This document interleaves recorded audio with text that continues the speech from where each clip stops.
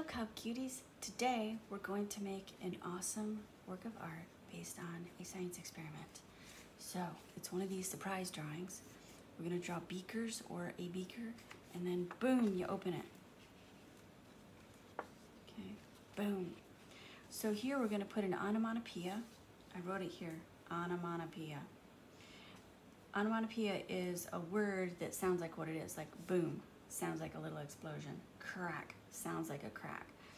So um, these were commonly used in comic books and comic strips, still are.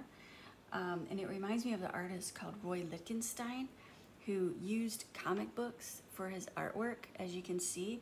And even this one right here is an onomatopoeia like what we're gonna use. So you can make your onomatopoeia look like that. Pop, that was a good one. So to start, we need to fold our paper. So you're gonna fold it up by about a third, crease it. Then you open it back up, fold this down, and then you're gonna fold this up, leaving a couple of inches.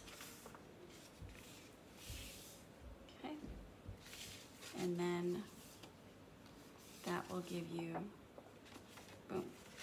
Okay, so I'll show you again real quick. You've got your paper, you're going to fold it up by a third, then you're gonna open that back up, fold this down, and then you're gonna fold it up, leaving an inch or two here. Okay, and you'll end up with a fold like that. Okay, and then you can use either side. I think this side is is better for the sizes. So I'm gonna use this side. And you can use beaker like this, or here's another type. You can make something like this on there with several. Um, I'm gonna go ahead and start making my beaker. So two straight lines, then rectangle on the top with a line here showing it actually goes across.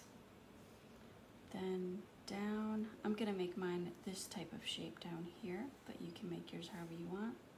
Straight down a little bit, and then diagonal line, and then a curve connecting this at the bottom, and a little curve going up to show the bottom. Then here, curve going down, curve going up to show the top of the liquid. Then you can add as many bubbles as you would like. You can even put some little shiny spots on them if you want. Maybe an accent line here on the side. And that's it.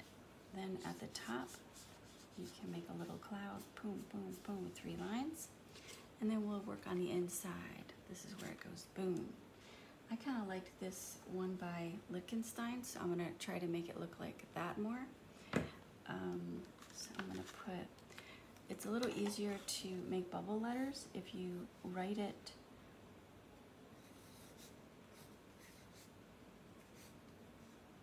in pencil first. I might maybe better make a little bigger,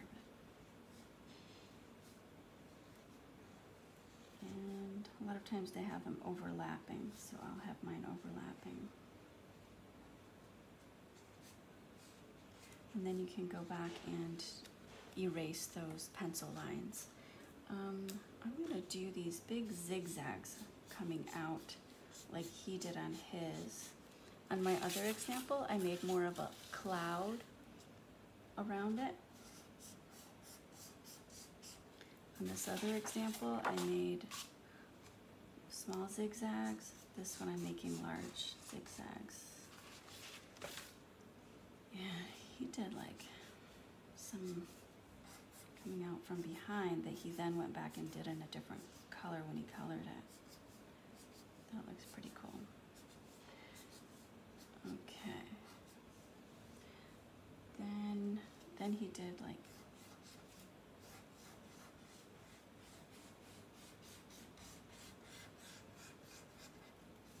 but you want to be careful not to go below that crease where you can see it before you've opened it. So I'm kind of right on the edge there. Okay, So then I would just go in and color it with all of my markers um, or crayons or whatever I have. I think this is a good application of markers. Um, if you do have watercolor, then this is a good chance to do um, the wet on wet technique. So I'll just show you that real quick if you have um, watercolors. So I would color in where the liquid is supposed to be, just, and I used regular marker. It, this, of course, works better if you use permanent marker, and then it wouldn't bleed like this is bleeding.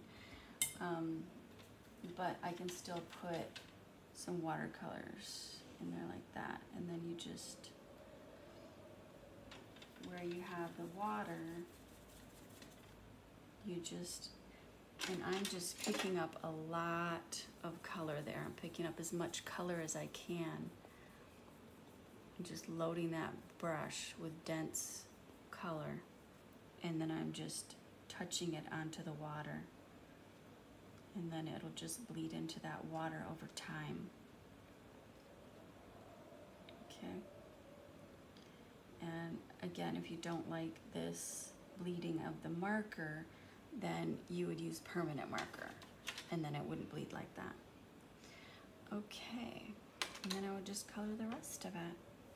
All right, I hope you have fun with this project and I can't wait to see what you come up with. Bye.